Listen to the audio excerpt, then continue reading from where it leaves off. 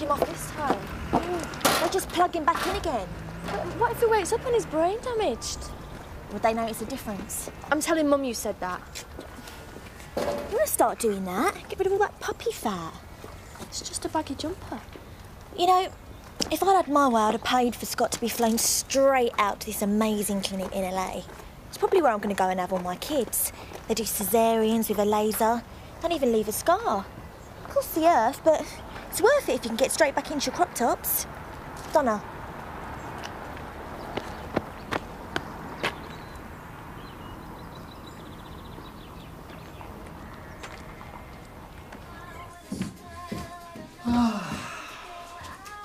You're up early? Why aren't you dressed? Eric, our Diane's home today. Ah. We've got a lot on. I want that factory back up and running, like now. Some of us have more important things to worry about than profitless vanity projects. Have you any idea what kind of gold mine we could be sitting on? Gold mine. Mm. That swanky place in Bath? Oh, uh, d- Anna's and tourists. Did you see what they charged for a consultation fee? No. And they slapped on mileage for house calls. Now, that's before they've even started running up curtains, stuffing designer cushions, and recommending naff but criminally expensive wallpaper. Mm, but you all know Anna. Now, obviously, she knew exactly what she was doing. Did she heck? Bored housewife persuaded rich husband to set her up in her own business because she happened to know her fan light from her dado rail. Yes, well, sadly, we're lacking a similar amount of capital. Yeah. But we've got us, Eric. And a finer pair of hustlers you couldn't hope to find. It's all bluster, this game. We've just got to convince a bunch of insecure, snobby homeowners that we've got better taste than them. And then charge them whatever comes into our heads for the privilege. Now, I've made a little list.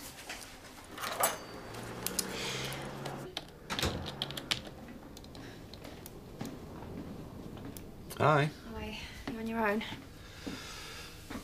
They're due any minute. Just wanted to see you. So why the radio silence? Have you done the dirty deed or not? It's not a joke, Matthew. You bottled it, haven't you? No. I did it and it was horrible. He'll get over it. No, he won't. You didn't see his face. I just feel sick thinking about it. Don't be silly. It's not the first time he'll have been dumped, and I doubt it'll be the last. You're horrible, do you know that? Still chose me over him, though, didn't you? Yeah, it's on. on the step. Oh. Hey, attention, head chef, the Woolpack chef. How's Kelly getting on then? Still driving her mum mad? No idea. This is junk mail. Top pub chef of the North? It's got you written all over it, this. You could win this. No, what? No, no. That's your ploughman and chips brigade. It's no to do with me. Hey, hey, no. First prize, a week working in the kitchen of James Martin. He's good, he is. He's all right. Yeah, the publicity for you and for the pub. I hate to say this, Marlon, but you are a damn fine cook. You've got as much chance of anybody winning this. Think about it. Top chef of the North. Pub, pub chef or pub chef? I am cordon bleu. I'm only here due to circumstances. Let's get on.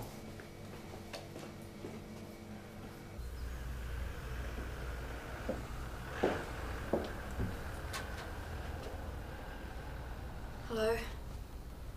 What do you want? To see if you're okay. Worried that I'm bearing up? I can't just switch off my feelings for you. But that's what you want me to do. How do we ever get to this, eh? You're asking me? One minute I'm getting ready to set up a home and a business with someone I love. And the next thing I know, you're finishing it. You haven't even got a reason. Terry, I've been feeling this way for a long time. I just couldn't figure out a way to tell you. Cutting it a bit fine, aren't you? This is all moving too fast for me. I'm just not ready for this kind of commitment. I just don't know what I've done wrong. You say there's no one else. It's just about us. All the time I've put in, working for our future, and you can just throw it away in the blink of an eye. It wasn't easy, believe me. I don't think I can believe you ever again. Terry. Yeah, well, I've got to go and sort this mess out with the solicitor. Close the door after you when you leave.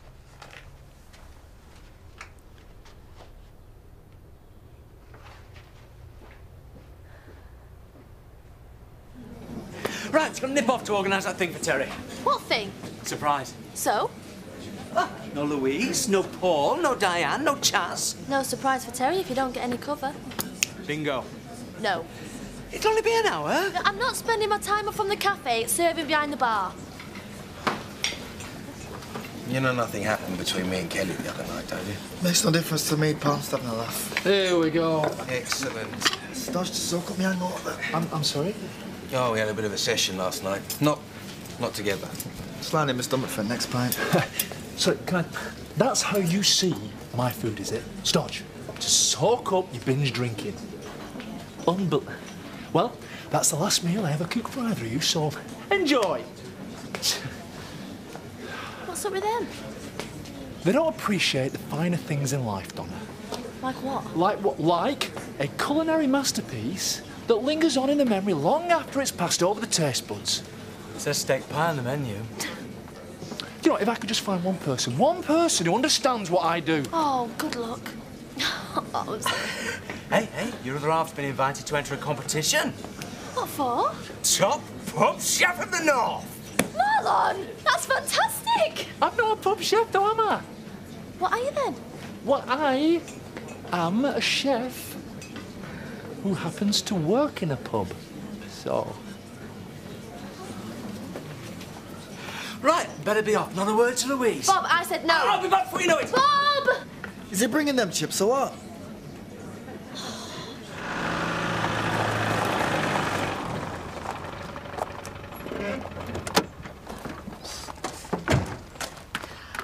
I can understand why some people don't bother with the reversal, you know. It's going to take me a long time to get used to feeling normal again. You've got all the time in the world, love. I haven't half missed you. I don't know about all the time in the world, though. Why? I need the loo. Diane! Welcome home. Great to see you both. No time for hugs. Well, come on then. Get the kettle on. He's coming, coming, yeah. He's coming. jolly good fellows, fillet a jolly good fellows, fillet a jolly good fellow. where's Louise? What the hell's going on? Oh, I thought we'd celebrate you getting the B&B at long last. Oh. Is everything all right, love? Terry? For God's sake, just get out. Go on, I, I didn't ask any of you around here. Just flaming well, get out. I think I forgot my card. No, no, no, Betty. Oh.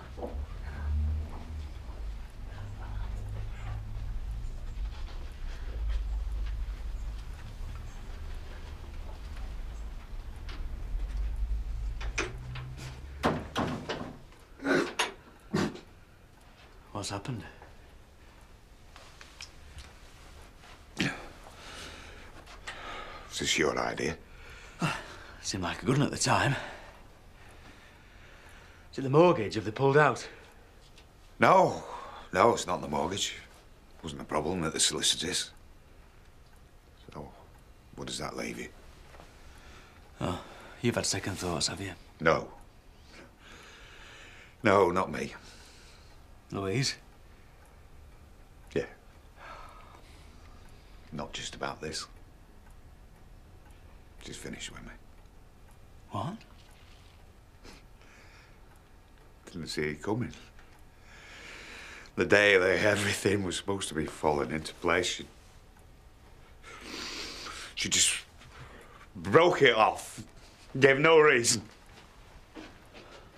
Oh, Terry.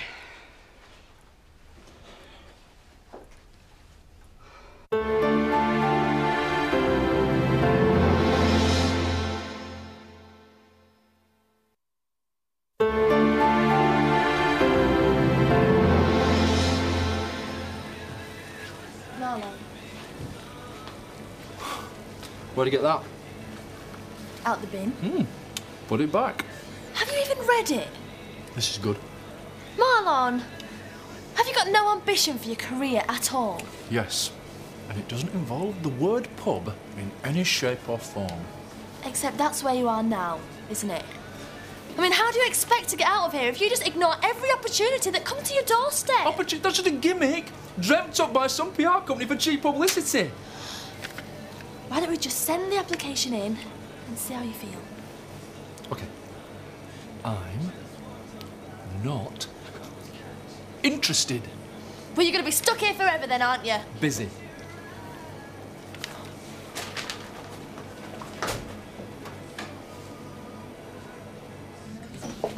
Diane! Welcome back. I must have been gone longer than I thought. Do you work for me? Oh, just while Bob's doing something for Terry. I hope he's paying you. You better. Oh, Diane, we thought it was you. Welcome home, love. How are you feeling? Glad to be home. Right, you, help us serve this lot and give me another half hour. You're not working already. It's the best thing for us. Yes, Eric. Uh, a malt for me and a dry white wine for Valerie. I'll get the wine.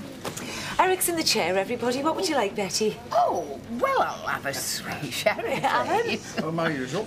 Lovely. Gin, thank you, Eric. Excellent. Not been the same without you, you know. Did you even notice I was gone? I wanted to be at the house when you arrived, but uh, Eric needed me elsewhere. You feeling better, though? Getting there. How did the little do for Terry go then? Well, he was certainly surprised to see us. Well, the poor love. Is there something up between him and Louise? Why, what's happened? Let's hope your sale still goes through, Alan. Otherwise, you could be uh, looking for a new buyer. Well, I don't think we can write it off just yet. Betty? No, well, we were all ready with champagne and that. Then he walks in, white as a sheet, and tells us to leave him alone. Yeah. No, that'll be Louise. Is she in the back? Not seen her. Oh, you'll finish off for you, love.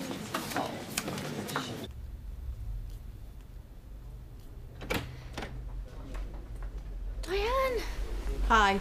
Oh, how are you? You look great. Oh, I'm so pleased to see you back. Thank you. Everything all right with you?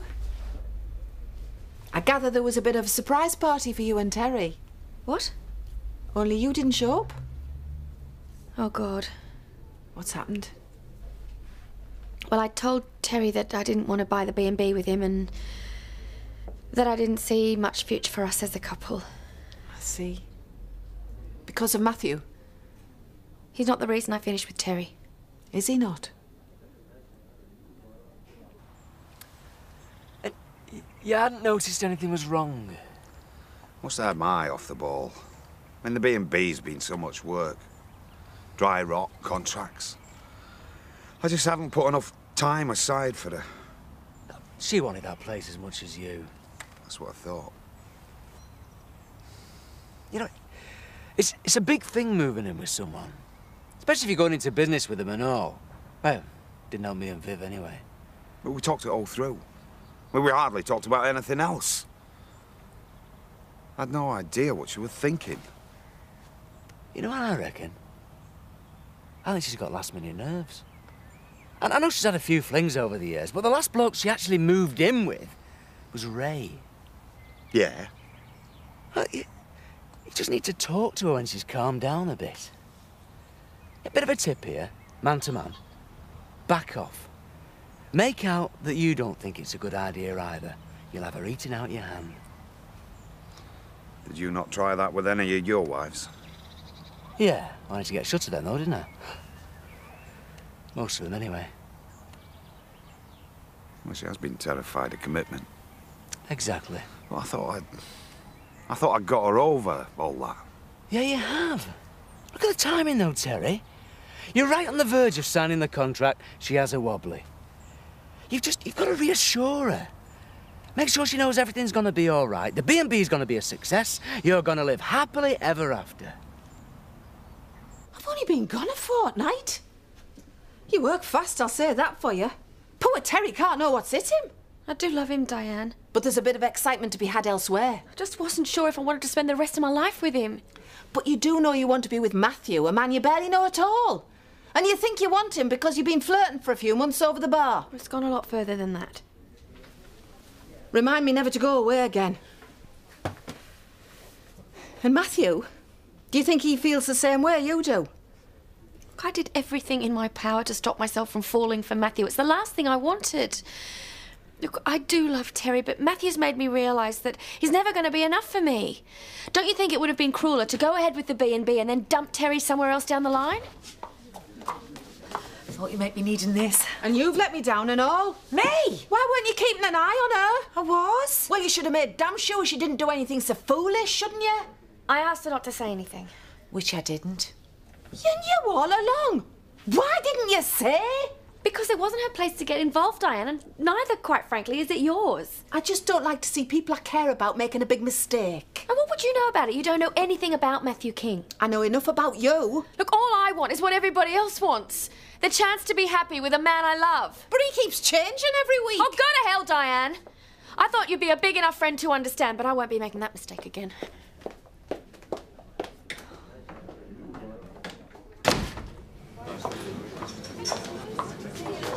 Dumped him. I knew it. She gets through more men than I get through tea bags. Only because you squeeze them out and use them twice. oh, poor Terry. All he wants to do is make someone happy. Yeah. Louise and Terry have split up. Really? Just as well this one's free. We'll never get any money together if I have to keep standing rounds for the entire Woolpack. Hearts and minds, Eric. It's a small price to pay for the goodwill of our neighbours. We're going to be this village's biggest success story. I don't want them resenting us for it. We need £15,000 up front. We'll get all the fabrics, sale or return. They'll be fighting to supply us. I don't know. I need you involved, Eric. You've got class written all over you. We can pull this off together. Been involved in crazier enterprises. So we'll go ahead. Why not? You had better phone your bank manager. We're going to need a loan. Hmm. Any news on your brother? No change. I'm sure he's going to be fine. Wish the doctors had your confidence. From the way some of them look at me, I, I can tell they're expecting the worst. They're taking him off the ventilator tomorrow.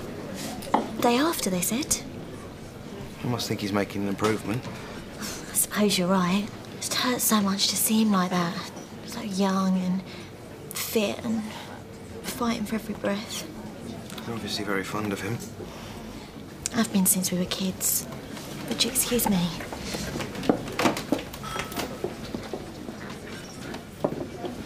Kelly sitting there? And she's putting on a great show. How do you mean? I just won't take her on face value. Her brother's in the hospital. She needs someone to talk to. Yeah, they're very close. You're not kidding. Did she tell you just how close? Robert. Kelly and Scott used to sleep together. Just want you to know what you're letting yourself in for. Well, just pay for the three months, and if you finish early, I'll give you a discount. What? Well, I need to talk to you. Again, I'm working. Have we got a deal or what? Something's come up, Kearney. I'm going to have to ring you back. Five minutes? Sorry. It's all right. What's up? Nothing, just falling out with Diane. Over me. So it's all out then. Yep. Now everyone's going to hate me. I did say we should have kept it to ourselves. Well, that's all right if you're having some sordid affair, but that's not what we're about, is it? Uh, we could have done it on our own terms when we were ready. Anyone think you're ashamed of me? Don't be daft. I'm a private person. I'd just prefer to keep it between you and me for a bit longer. You'd have been happy sharing me forever, wouldn't you? How can you say that? I want you all to myself. I just reckon you were worth waiting for, that's all. Did you, uh, did you have a word? Wouldn't listen. You know, he can be more stubborn than your mum when he wants to be. Well, it won't do him any good this time, though. Why not? Because this is too big a decision for him to make on his own. Yeah, but you heard what he said. Doesn't matter, because I'm going to enter him myself. Oh, Terry, love, how are you? Fine. I know how you're feeling. Thanks. Look, if there's anything I can do. No, I'll uh, bear it in mind. Bob, Sheila, Not seen her, mate. Terry, do you want a drink? No, I was just wondering if you'd seen Louise. We did have a chat. For what it's worth, I think she's made a big mistake. I really thought she'd grown out of all that. Oh, all what? Having her head turned by a flash suit and a platinum card. Oh, Terry, you're going to hear this from somebody. She's been seeing Matthew.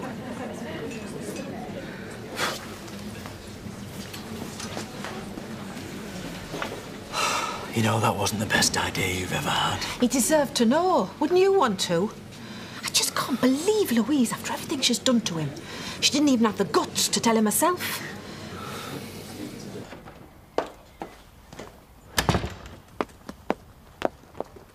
You said there was no one else. You said it was just about us. Oh, Terry, You've left me for Matthew. You told me there was no one else. it's not like that. Have you slept with him? Oh, God.